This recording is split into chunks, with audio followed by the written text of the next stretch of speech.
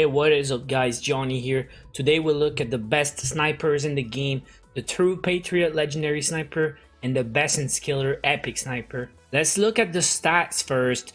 The Besson's killers got 1066 as base damage while the true patriots got 1230 it's a lot more but everything else goes to the Besson's killer. It's got higher fire rate better accuracy it's got longer range but most of all, it's got one more bullet in the clip. The True Patriot is a legendary sniper, so it's got four more perks. If you compare the perks, they both have an extra 6% fire rate, they both have 8% accuracy, and they both have extra damage. The Besson's got an extra 10%, while the True Patriot's got only 6% extra damage, so that will reduce the difference a little bit.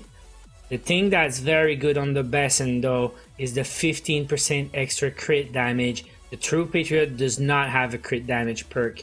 We will look at these two snipers in action in the same situation. It's a stationary boss fight again. We want to see how much damage these snipers can deal in 10 seconds because 10 seconds is the duration of the supercharger active skill.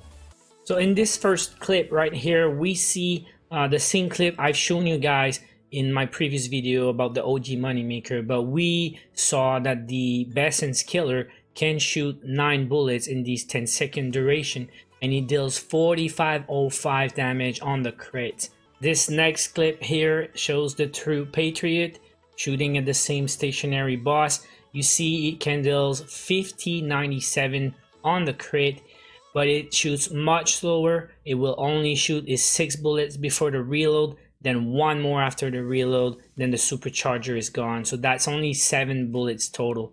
Let's do the math. So we said the Besson's killer will shoot nine bullets. Each crit, if you hit all crits, will deal 4505. So that will be a total of 40,545 total damage in the 10 second duration of the supercharger. What about the True Patriot now? We said the Patriot will deal 5097 on the crit with the exact same gear I was using on the Besson video, but it will only shoot 7 bullets instead of 9. That is a total of 35 679. So in the same situation, the Besson's killer would actually deal 5000 more damage on the boss. So overall, the Besson's killer seems to be a better choice in this specific scenario will, will you be speed farming dungeons trying to do as much damage in the short period of time try to get the boss kill as fast as possible? But in real life it's not always that. And you would know that you don't always hit your crits. And the Besson shines where you hit your crits because of the 15% extra damage on the crits.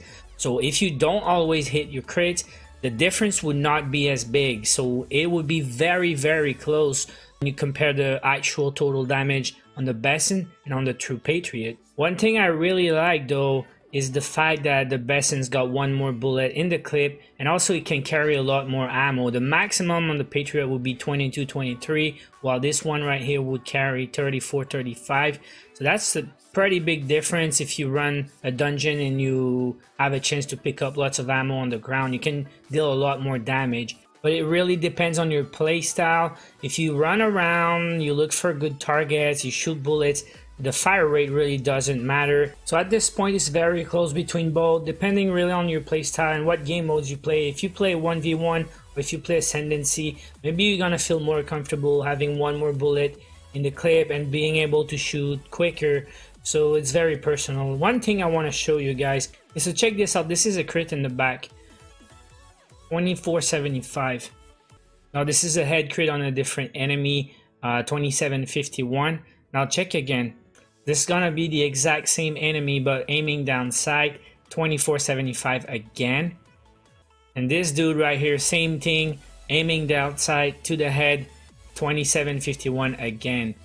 That brings you to think, again, the iron sight damage on the True Patriot is actually not working, not just on the crit, because I thought maybe the uh, iron sight just work on non-crit damage and the crit is not affected by the extra damage but that's not true because I did test with uh, other auto rifles and the uh, extra iron sight damage works on the crit also. So you want to think is it just the iron sight damage that's not working or or all the perks are broken on these legendaries? Like how can you know if the 6% reload speed or the 8% accuracy is actually working? Would you even notice you could compare two clips of uh, reloading your your uh, rifle before the uh, perk is unlocked and then watch another clip with the extra 6% reload and compare would you even notice a 6% difference what about the 8% accuracy? Would you notice? So I don't know, guys. Maybe all these perks are broken and we don't even know.